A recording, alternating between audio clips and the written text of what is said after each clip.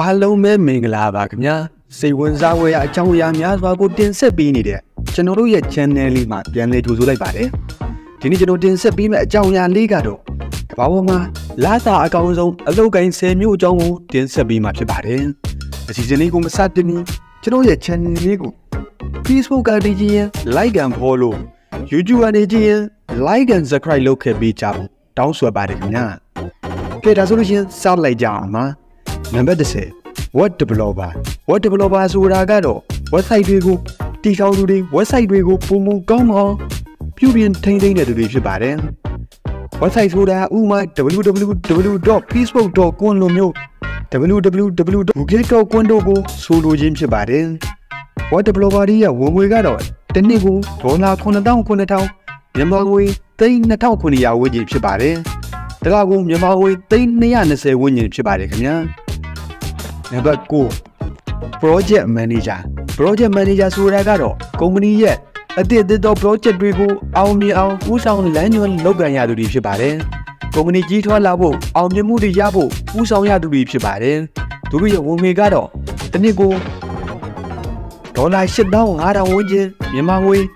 3300ဝန်းကျင်ဖြစ်ပါတယ်။တလားကိုမြန်မာငွေ3250ဝန်းကျင်လောက်ရကြပါတယ်ခင်ဗျာ။နံပါတ်8 ID System Manager ID System Manager ဆိုတာကတော့ကုမ္ပဏီရဲ့ဤပညာအချက်လက်များကိုလုံခြုံရေးဖွံ့ဖြိုးတိုးတက်ရေးအတွက်ဤပညာအသစ်များကိုတီထွင်ဖန်တီးကြသူတွေဖြစ်ပါတယ်။သူတို့ရဲ့ဝင်ဝင်ကတော့တစ်နှစ်ကိုဒေါ်လာ8900ဖြစ်ပါတယ်။မြန်မာငွေ3300ကျော်ဖြစ်ပါတယ်ခင်ဗျာ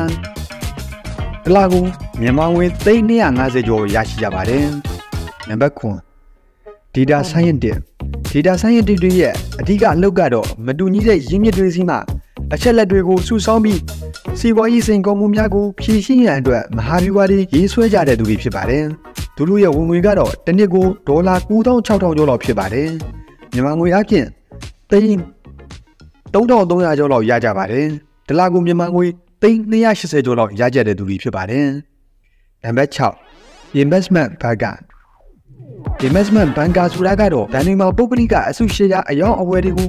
ကင်တွယ်ဖြည့်ရှင်းပေးရတဲ့ငွေကြေးနဲ့ပတ်သက်သော professional တွေဖြစ်ပါတယ်။သူတို့ရဲ့ဝင်ငွေကတစ်နှစ်ကိုဒေါ်လာ3သိန်းကျော်လောက်ရရှိပါတယ်။မြန်မာငွေအပြင်သိန်း3500ကျော်လောက်ရရှိပါတယ်ခင်ဗျာ။ဒလကူမြန်မာငွေသိန်း290ကျော်လောက်ရရှိပါတယ်။နံပါတ်9 corporate lawyer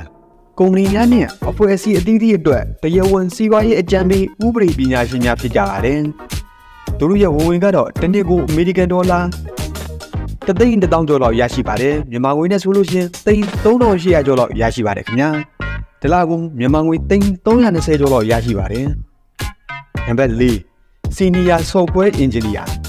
Software Engineer ရဲ့အဓိကအလုပ်ကတော့ software အသစ်တွေဤပညာအသစ်တွေကိုသူတည်တနာလုပ်ပြီး ဒီဇိုင်းပေါ်တိဆောက်ကြတဲ့သူတွေဖြစ်ပါတယ်သူတို့ရဲ့ဝင်ဝင်ကတော့တစ်နှစ်ကိုဒေါ်လာ3သိန်း2000ကျော်မြန်မာငွေ3400ကျော်လောက်ဖြစ်ပါတယ်ဒလကိုမြန်မာငွေ3350ကျော်လောက်ရရှိပါတယ်ခင်ဗျာ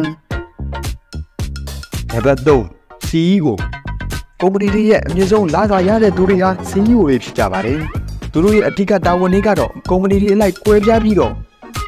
ရေဘူးရအဖြစ်ကုမ္ပဏီတွေကြီးထားအောင်မြင်ဖို့မဟာဗျူဟာတွေနီးဗျူဟာတွေကို ချမ်းပဲ့လမ်းညွှန်ကြတဲ့သူတွေဖြစ်ပါတယ်။သူတို့ရဲ့ဝင်ငွေကတော့တစ်နှစ်ကိုအမေရိကန်ဒေါ်လာ3,500ကျော်လောက်ရရှိပါတယ်။မြန်မာငွေတစ်နှစ်ကို3,400ကျော်လောက်ရရှိပါတယ်ခင်ဗျာ။တစ်လကိုမြန်မာငွေ3,450ကျော်လောက်ရရှိတဲ့သူတွေဖြစ်ပါတယ်။နံပါတ်2 Internet of the IoT Architect IoT engineer ဆိုတာကတော့ကျွန်ုပ်တို့အတွက်နည်းပညာကိုအစစ်မြင့်တရားစက်ပစ္စည်းများနဲ့ချိတ်ဆက်မှုများကို စီမံခန့်ခွဲတဲ့သူစင်ဆာများနဲ့ software upgrade များပေါ်တွင်အလုပ်လုပ်ပေးရသည့်ကျွမ်းကျင်မှုပေါင်းစုံရှိသူများပဲဖြစ်ပါတယ်။အဓိကကတော့ software ရေးသားသည့် engineer များဖြစ်ပါတယ်။သူတို့ရဲ့ဝင်ငွေကတော့တစ်လကိုဒေါ်လာ3,600ကျော်မြန်မာငွေ3,600ကျော်လောက်ရရှိပါတယ်။တစ်လကိုမြန်မာငွေ3,920ကျော်လောက်ရရှိပါတယ်ခင်ဗျာ။နံပါတ်1 General Surgeon ခွဲစိတ်ဆရာဝန်များ ခွဲစိတ်ဆရာဝန်များကတော့လူအသက်များစွာကိုခွဲစိတ်ကုသကယ်ဆယ်ပေးရတဲ့အလုပ်ပဲဖြစ်ပါတယ်။သူတို့ရဲ့ဝင်ငွေကတော့တစ်နှစ်ကိုအမေရိကန်ဒေါ်လာ2သိန်း9000ကျော်လောက်ရရှိပါတယ်။မြန်မာငွေအပြင်တစ်လကိုသိန်း1000ကျော်လောက်ရရှိပါတယ်ခင်ဗျာတစ်လကိုမြန်မာငွေသိန်း850ကျော်လောက်ရရှိပါတယ်ဒီလောက်ကလာစားတွေကတော့အမေရိကန်ဥရောပတို့မှာရှိကြတဲ့ပြင်းပြန်လာကားတွေပဲဖြစ်ပါတယ်အနေအများကတော့ကုမ္ပဏီတွေပေါ်မူတည်ပြီး ကွာခြားမှုတွေရှိနိုင်ပါတယ်အဓိကလာကာကောင်းတဲ့အလုပ်တွေကတော့ပေါ်မှာပြောခဲ့တဲ့ IT ဒီပညာရှင်များမန်နေဂျာများဥပဒေပညာရှင်များအင်ဂျင်နီယာများဖွဲ့စည်းဆရာဝန်များပဲဖြစ်ကြပါတယ်ခင်ဗျာအဆုံးထိနားထောင်ပေးတဲ့အတွက်အားလုံးကိုကျေးဇူးတင်ပါတယ်ခင်ဗျာ